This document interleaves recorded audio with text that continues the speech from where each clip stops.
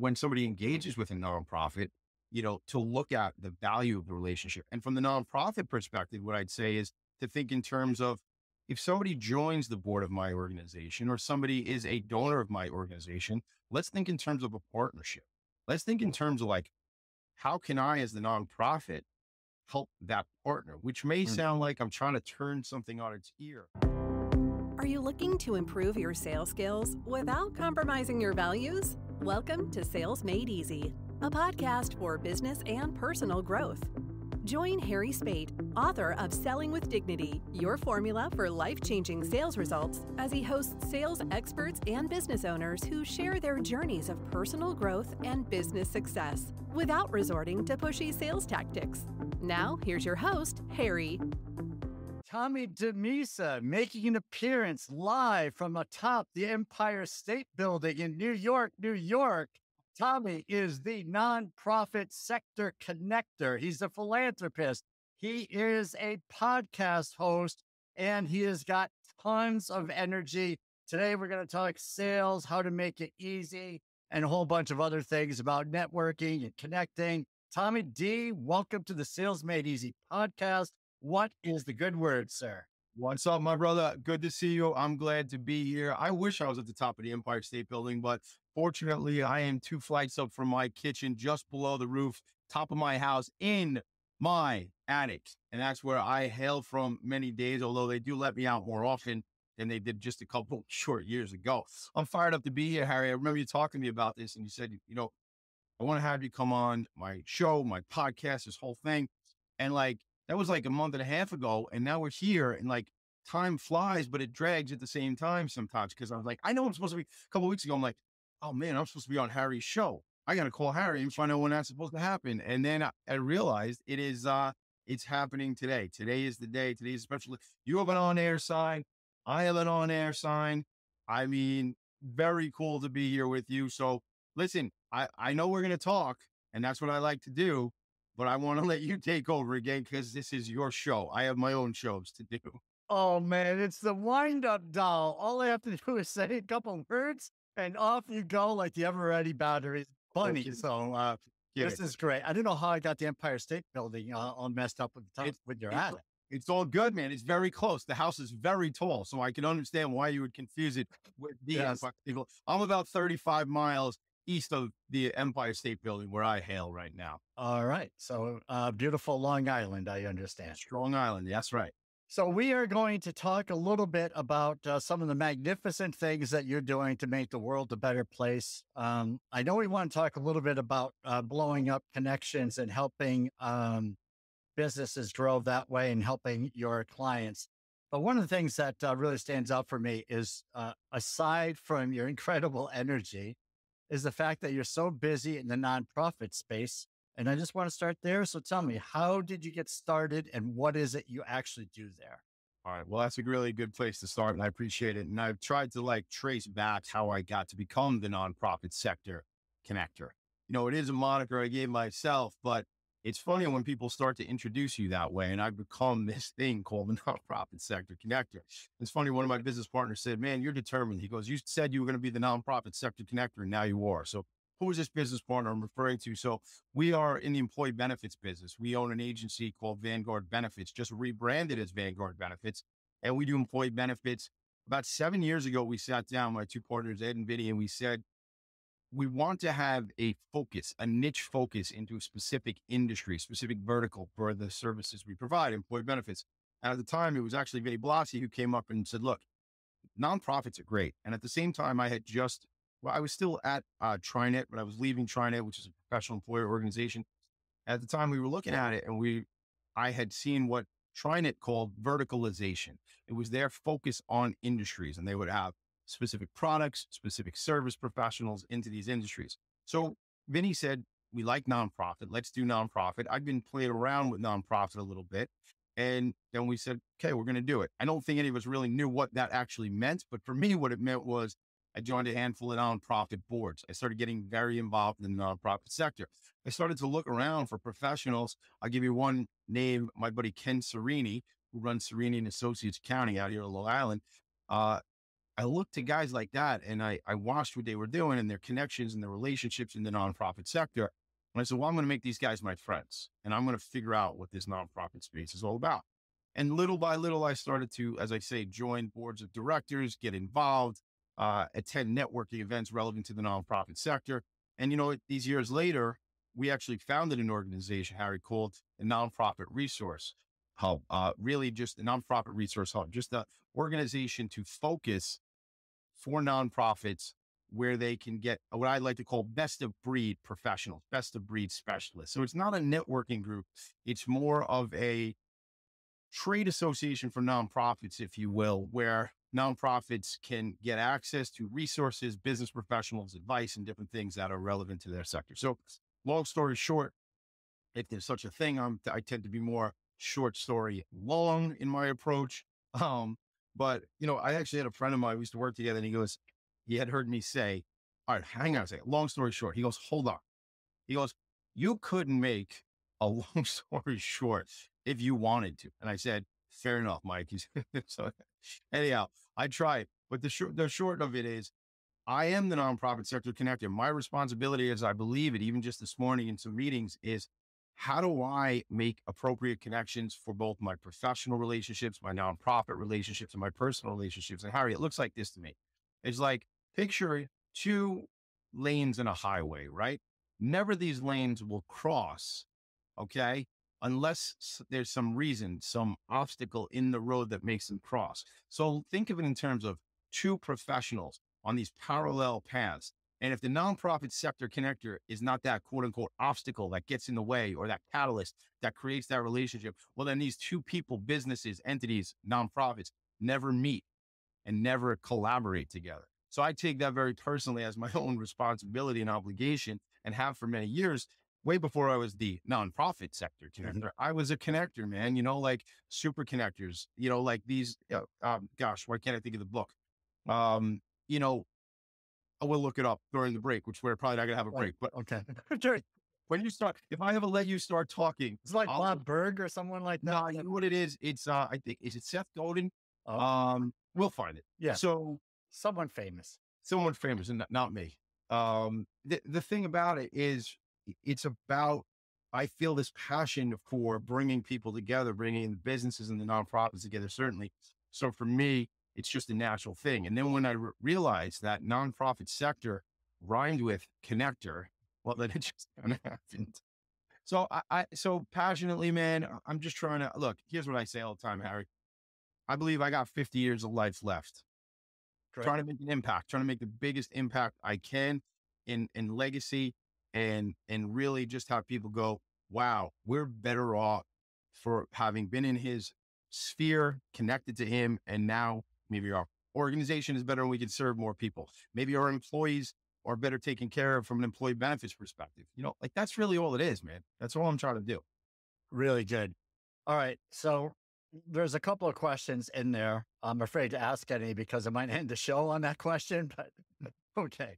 All right. So the nonprofits, what is what would you say is a a very uh, common challenge that they face other than fundraising mm. um, that you can suggest to people is like if you want to get involved in a nonprofit this is where they need help what wow. would that be or is there a thought yeah. like that uh I, uh, you know so i'm in the process of creating something myself that you, i don't even know if you and i have talked about yet but it's so I do a, a, weekly show. It's called Philanthropy in Focus, where I interview executive directors and nonprofits. I say to help them tell their story and amplify their message. And you know, in in doing that, in doing 135 some odd episodes of Philanthropy in Focus so far, because I do it every Friday morning, I, I've had the opportunity to connect with a lot of leaders and nonprofits. And I believe that, and this is not only for nonprofit organizations. I believe it because again, back to the connector thing. I really believe that people and leaders don't always have the right mechanics to best maintain relationships and nurture relationships. What do I mean? Business relationships, making those deposits, as Stephen Covey would talk about in Seven Habits, making those deposits into relationships. And uh, I, I, really see as an opportunity, if you, since you ask it that way, where people could get involved with or support and structure nonprofit organizations aside or, or hold up nonprofit organizations aside from just the fundraising that you talk about is the strategy around developing relationships, the strategy around creating and nurturing relationships. Could be, there's a lot of stakeholders we talk about. We talk about relationships from the perspective of, of donors, of major donors. We talk about it in terms of board members, right? We talk about it as far as collaborators. I think of, you know, I'm doing an event and you know, I bring together two nonprofit organizations and where, you know, they both do similar work and serve a similar population, but it's complementary. It's not competitive, right? So it's where those things lie and where the, where are those opportunities?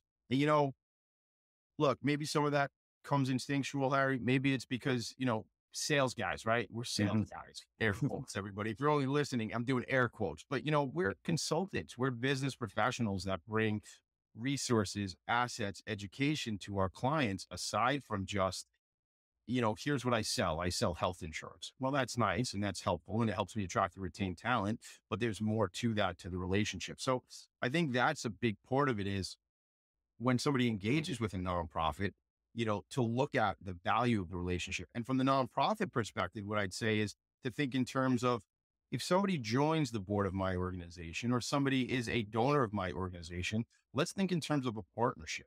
Let's think in terms of like, how can I, as the nonprofit, help that partner? Which may mm. sound like I'm trying to turn something on its ear, but the point of the matter is, I think historically, in my experience, some nonprofit organizations will ask somebody to sponsor the golf outing or sponsor the gala um, write a check. Maybe you get a table. Maybe you bring some of your friends. However, it's almost um, one sided.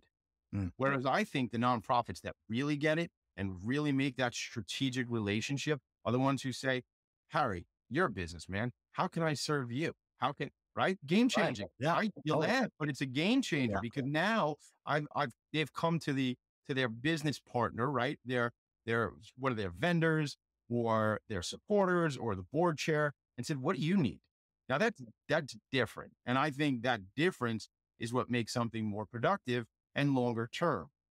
So yeah. I don't know what you think about that. Well, I love it. So I was laughing uh, primarily because I've been thinking the same. Like an example is, is it's just like sales. So you have someone that's a donor is like a client. The client buys from you by donating to the nonprofit. Right. And the only time that they hear from many of the nonprofits, not all, is when it's fundraising time. So here is, it's like in sales, is that if your client is only hearing from you when there's a new product or something else to sell, that starts to get old. And then people start necessarily feel as valued. I'm not saying it happens all the time, but it's an opportunity for people who are in the nonprofit space to reflect and say, look, so and so has been donating for years. What do I really know about their business? Is there a way, maybe I can't help them financially, but I've got all of these businesses that are supporting us. Is there a connection there where we can help each other? Is that what you're already doing? But that's kind of what I'm thinking. Yeah, I mean, that's what I think you hit the nail on the head, as I say. I mean, for me, uh, I don't know that everybody's going to subscribe to or buy into what you and I just said, uh, as you know, as nonprofit leaders or not. And, and that being said, many of them might be doing everything we said already correctly. Um, I just find, I mean, I've donated to organizations or done some volunteer work for organizations, you know, in six or 12 months goes by and I haven't done anything, you know, oh, I heard a dog bark. Yes. Uh, Who's that? They like to join the show periodically. I, I love when that would be Clover and Elvis. A couple of Clover and Elvis. Yes. Hey, the king has left the building. Uh, look, you know, I I tell you, I got to get my dog Cheeto on the show. I didn't know we were bringing show and tell and bring dogs. Cheeto's downstairs by the kitchen where I usually. Oh man. Um, but you know, if, for me, it's like if we all see the world as from a perspective of through the lens of collaboration, Harry, and as leaders of businesses and nonprofits, we look for this partnership piece. I think of an organization, I think of, um, I use my friend Ken Cerini. I said his name earlier and I'll bring it up today again. Because my friend Amy Zaslansky, who founded Book Fairies, which is a nonprofit organization that has given 4 million books. It's a tiny organization, right? Or it was. My friend Amy founded this organization because she was running a book drive for a local school district on Long Island. They've given away 4 million books, right? Doing an incredible job. Shout, shout out to Eileen Minogue, who's the executive director over there now. But Amy is the founding ED, uh, went to Ken Cerini and said, look, I want to connect with you. I want to find a way where your 75 employee accounting firm can partner up with Book Fairies, right? Not write us a donation check, not give us a thing for the golf outing, a tea sponsorship or whatever. No, partner up. Now, as a result, as this relationship has blossomed, the organization receives uh, the ever for every billable hour that Cerini and Associates does, that money or for every billable hour, they put a book in the hands of a child Nice. in need. So there's something there. That's from the from the top down, from Ken Cerini as a guy who is a leader in the nonprofit sector, down to his associates in his firm. They realize, and on their signature, it says, you know, their email signature, we're partnered with Book Fairies. Here's what they've done. Here, what is that? That's culture that develops an organization, a business to say, look, we're involved in our community. Harry, you and I know this. You know, when we talk about attracting and retaining talent, like I talk about from a benefits perspective, and certainly with our clients, many people are saying, awesome, great. Thanks for the payroll, the, the, the money you're going to give me, the benefits you're going to give me. But what are you doing in the community? Mm. How are you giving back? How are you involved? So, in a competitive environment right now, from an employment perspective, a firm like Cerini and Associates is able to say, here's what we do. For every billable hour, a child gets a book. Like that is real stuff. And that creates culture. That creates the connection to the, the nonprofit sector and the for-profit sector. So I, I- you know, I know you said you can wind me up and go. I sort of see like, you know, just, just dress up the monkey and he's going to dance and sing a song. Like that's sort of what I do, which is, oh, you, you kind of wound me up. But the point of the matter is I get passionate. I go on about this stuff because it's real. It's game changing, Harry. It's awesome. All right. So uh, as I'm thinking through this, I'm just thinking of the the negative side because that's where some people go. Not that I am, but Right. maybe the skeptic says, "Well, what's the financial return on that?" Because everything for some has to have a financial return. I'm not necessarily a believer in that Hmm. because I believe you put things out in the universe, stuff happens, and good Yeah. things come back to you, and you don't you can't look at everything as a financial return. So, what's your thought on just the whole idea? Is there one, or is Yeah, my question too cloudy? No, no, I think it's a good, I think it's a good question. And I can't say to you, like, I've done the research and the statistics and here's, you know, how many employees will stay around with your firm versus going across the street because of this, that, and the other thing. But I know there, I know it's out there and we can find those statistics at another show. When you bring me back, talk about it there. But for now, what I'd say is, first of all, you can't say no one can challenge us. I, anybody can challenge us any way they want, but I don't think anybody has a, a serious argument to say that being involved in your community and giving back as a business professional is is in it has no value. I mean, that's silly to me. That being said, I understand where you're going. I think I do. Some executive leaders in organizations are going to go, well, that's nice that we're giving back books, or that's nice that we worked at the soup kitchen, or that's nice that we had the the food drive and we're hooking up the pantry and helping them out. What's it do for my bottom line? Well, I know I, I know and understand this. It costs a lot of money to hire people. It costs a lot of money to onboard people, right? There's a lot of training that goes involved. I mean, I grew up in the payroll business many, many years ago. I was a salesman for ADP when I first started my mm-hmm. career. I it it, it pains me to say it was 20 years ago, 2003, that I started my career at ADP. It doesn't pain me to say. It's just weird to say, Harry, to say like I started my career in sales 20 years ago because I don't feel like I'm 45 years old. Don't tell anybody I just told you I'm 45. But I think um, in, in terms of when we talked about, you know, attracting and retaining talent, even growing up in the payroll business, it was, I remember they would talk about onboarding and how expensive it was to lose somebody, right? That's bottom line. You know, there are facts. You and I could pause and Google this and find out answers if we wanted to, because there is w- ways if you maintain a relationship with an employee for seven years versus three years, well, that's a financial situation. So leaders of organizations, I think, think realize and know that. Um, I remember, you know, hanging out with a lot of HR people, human resource professionals. And I remember years ago, you know, and, and I'm sure this isn't completely resolved yet, but I remember years ago, HR wanted a quote unquote seat at the table.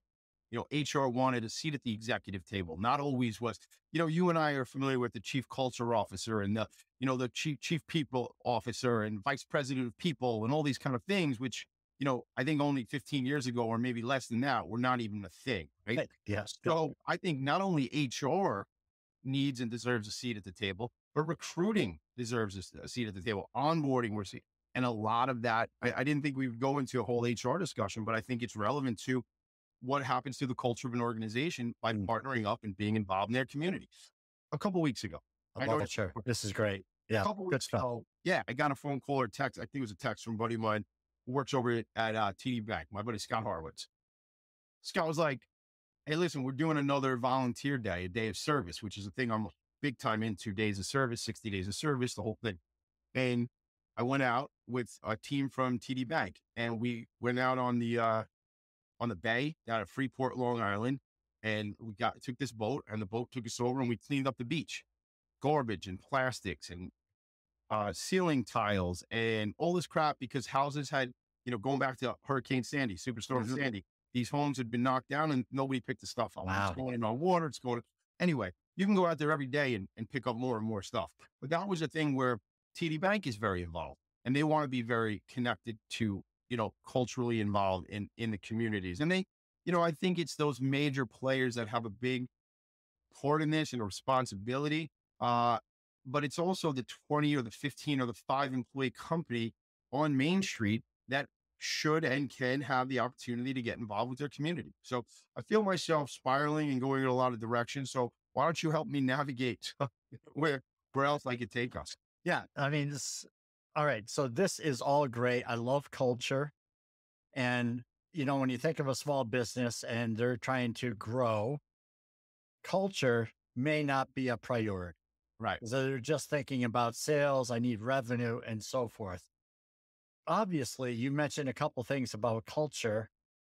And I'm just curious as to if what was, how have you always been a culture guy or did this work with the nonprofits help you to kind of see the light where culture can really make an impact because it brings about enthusiasm and excitement for the company as well as generating revenue, being involved in the community. There's a lot of good that comes from culture. So, what's the thought process as to how you got there and yeah, if there's benefits that I maybe we're uh, missing? Yeah, I think I, it was outliers. It was Gladwell outliers. I had to look up where the connectors thing was. That's where we got to. We'll go back to the Gladwell thing maybe today or next time you come bring me back on the show. How bold of me to say okay. next time, next time back on this show, Harry. How bold? Yes, bold, Tommy D. How dare you? Look, I culture to me, I think is like at the end of the day, what are we talking about with people? Right? We inhabit this planet with other other species, but for the most most part, most of us mm-hmm. interact with people more so than animals. Although I do another show, it's called the Professionals and Animal Lovers Show. Check it out. Pal, pal-show.com. Some cool stuff happening there with the animals. But I think for the most part, we, most of us, I say, connect with people. So culture to me is how are the people connecting inside of an organization? How do you connect outside of an organization? What is the look and feel? What is the DNA of that organization? Can I say that this was always some, something that was important to me? No, probably as 24, 25 years old when I was selling payroll for ADP, my intention was uh, the culture is how soon can we sell enough that we can get to the bar? Like that was like the culture that was important, right? You know, as I, I think as all of us, as we mature in life, it becomes like, what does this company mean? What is the DNA? What is the value? What is the impact that this organization that I represent, that I spend 40, 50, 60 hours a week away from my family to do? Well, why why am I aligned with that? So to me, it's the look and feel. It's what do I get juiced up about this or do I get drained by this work? You know, does the company make a real impact in the world? Even if what it sells or does or creates might not be super impactful for the world and the environment, what do we do around that? You know, sometimes we sometimes companies just make the things that are necessary, right? Can you extrapolate how valuable that is to the world? Sure, you can. You know, tourniquets are very important, right? You know, crutches are important. Companies make these things. You know, what the microchips that go in my phone, those are important, right? Okay. We can say how it changes the world, or we can just say, well, those are things that are necessary, but how does the company change? Because two companies that make or manufacture or sell the same thing are completely different based on how they care for their people internally, how they get involved, as we talked about with nonprofits. So I think your question was, was I always a guy who looked at culture as such an important thing? Oh, probably not. Because I was like, how much money am I going to make in this situation? Right. Whereas younger sales guys, you and I were those one time, you know, as younger sales guys, that's sort of what what's important at the time. I think though, now more so than ever, our clients, our prospective clients, our prospective partners are all looking for, well, what else are you doing? Right. I mean, I'm sure you hear and, and we talk to other people. Yeah. Welcome back. Show. Welcome back. Harry Spaight makes an appearance. Yeah. So uh, that's what that black little microphone does. If, if I put a line through it, it stops me from talking. Look at you. You're figuring this thing out. I love it. Yes. Uh, new technology, folks. We have uh, incredible uh, new software to host a podcast. Yeah. So culture is something that we go back to is where you have longevity. People stay with a company. There, you can get into the why of people more. And even, if, you know, everyone could be creating a widget that you may not necessarily like our beautiful on air signs. I mean, those aren't changing the world, but someone in that place may be thinking the culture is so awesome that they just want to be around those people and the company's giving back to the community. So it doesn't need to be the product or what's exciting about the company. It could be what's inside the walls, so to speak. I, yeah, I'm with you on that. I mean, to me, that's the whole point. Like, it's some of these things are necessities. Like, someone manufactures garbage pails, right? Those are important. Mm-hmm. I have like two blue ones and two green ones on the side of my house, and those are important, right? But maybe it's not changing the world. But what if the garbage garbage pail manufacturing company? I'm so I had no intention of talking about garbage pails, Harry. This is bring out the best in me, Harry. I had no intention of. And now I'm talking about garbage pails. But what if that company who who, you know, manufactures garbage pails is also brings their 75 employees out to the local food pantry, or at the very least, has a has a relationship with the food pantry, right? Something or we or whatever the the cause that's and you know what I think is even more important? Here's what I'm going to say. What about not assuming your employees want to work at the food pantry, but polling your 70 oh, even employees and finding out what's important to them. There was a book a bunch of years ago, and I picked yeah. up uh, I picked up two copies in case I wanted to read it more than once, and it was called it was called The Dream Manager, and the okay. Dream Manager was a fable. Um, I'm googling it so we can tell you who who wrote it and everybody okay. it out. But the Dream Manager was a story. Matthew Kelly was it, and it was actually when I was at ADP they were giving the book away to uh, prospective clients in the major account division. So I didn't buy the book twice. I think I took two copies from the mm-hmm. office. What I did, one of the one of the one that I read, what it told you was some employees. The dream manager was like on the HR team, right? Okay. The dream manager was like a, a rolling cycle. Like Harry Spaight would have been a dream manager for six months, and then Tommy D would be the dream manager for six months because it was a really cool gig and people wanted to do it. All right. So what would happen is you would interview and survey your people. And some per- some people might have really wanted a new car. They never had a new car. So you would sit with that employee and figure out, well, what can we do to help you get a new car? Right. Some of the employees in this fictional company had to take like three buses to get to the to the job site. So some of them wanted to have, they said, can we have a shuttle service where you can pick us game changing stuff, like not mm-hmm. like not heavy lift necessarily right. for the company, game changing for the employees, right? Other person was like, I want to go back to school. So, you know, some of the basic things that people sure. want. I want to yeah. own a home. And that is a cool story. I'm going to go back and read the Dream Manager. In fact, Harry, I think I fibbed. I'm going to go back and listen to the Dream Manager on on YouTube and let just somebody. I'm going to go buy the book. You can buy it, and and maybe you could read it to me. Yeah. My friend, Renee Daniel Flagler, who is the uh, executive director of Girls Inc. of Long Island, she's a friend, she's a client. We, we, we just buddies. And she wrote, has written a couple of books. She writes under the pseudonym Nikki Knight. She writes romance novels, and then she writes other nonfiction work, Dream Journey, and different things like this. So somewhere in the attic here with me, I have her book Dream Journey, and I said, I had said to her, I texted her one day, I was like, um, I got your book. I'm excited to read it. And at the same time, I want to listen to it and I can't find it on Audible. And she's like, Tom Z, it's not on Audible. So I said, Can I call you later and can you just read me the book? She didn't read me the book. Oh my goodness. I'm just trying to make you laugh, Harry. Yeah, yeah. Well, you're doing a great job, and I'm trying not to spit in my microphone because I spent a lot of money on this microphone. Oh my god! Oh, you gotta have one of yes. these. You got this thing. This I got this little spit protector, yes, but I got it too. I didn't know what it was there for. I thought it was a hat. All right. So this has been a blast. You you have brought the energy. Yeah, I mean we could go on for hours, but no one's going to listen. After 25 minutes, all the data shows people just drop off. Is that what they say? Yeah, that's that's. Oh my god! I do. I do two shows. They're an hour long each. That means Yeah, no one's listening. No. And the best part, we already went over. Good all right, stuff. so uh, this is great. We're gonna have we're gonna have all kinds of clips. Okay. So it's going to be for around forever, evergreen, uh, YouTube everywhere. It's going to be all over the place. So, oh my god. Well, that's good. but So- if people want more of your incredible, quiet, soft energy, you know, there's just a low, beaming energy, very subtle, hardly even noticeable. Where might they find you, Tommy? I mean, I appreciate you asking that. I mean, if you want to check out what I'm doing on Philanthropy in Focus, you could go to philanthropyandfocus.com and focus is spelled P H O C U S because I grew up in a time when we used to say fat back in the 90s, P H A T. Plus, I like alliteration. So, Philanthropy in Focus. You can check me out there. Check me out on Instagram, TommyD.NYC. Really trying to build up a presence there. Uh, for a professional side of things, Vanguard Benefits, YOU.com, Vanguard Benefits U, YOU.com. Uh, and, and really check out the other thing we're doing, Pal Show, Professionals and Animal Lovers Show. And really, I love LinkedIn. I love Instagram, Tommy DiMisa, D-I-M-I-S-A.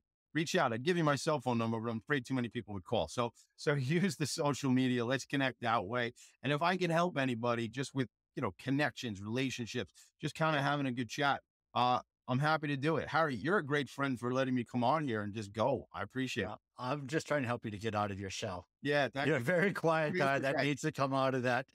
It's a big day. I feel good. I'm out of my shell. Like, Uh, you know what it's like being Tommy D? Let me tell you something. By Friday night, I'm very tired. You know, Yeah. very tired. yeah. So you and I have had conversations early in the morning. You're not quite so wired when you're having your drink of red red juice, whatever that stuff was. Oh, I drink that stuff. It's called Axio. Yeah, it's not just red juice. I don't know what they, you know, you know, A X I O. It's some this, you know, hocus pocus stuff. I put in my drink. It's it's good. Oh. Yeah, but you know what, Harry? You- It's all time of day, and if you get me too early, I'm just getting going. We're Yeah. just getting Yes. warmed Well, up. now, now I know what the real you is like. I think morning version, perhaps. All right, this has been a blast, Tommy D. Thank you for making your appearance. We'll have to get you on again, I'll be back. even though you only asked me 17 times in the podcast. I assure you, we'll get on sometime in 24. I great love stuff, man. Thank you, Harry. Thank you for listening to Sales Made Easy. If you found value in our conversations, please subscribe and leave a review. Our goal is to provide practical strategies for growing your business while staying true to your values. Remember, success in sales is about serving your clients. Serve first, and the selling will follow. We'll be back soon with more insights and inspiration. Until then, keep serving and providing value to others. Good things will happen.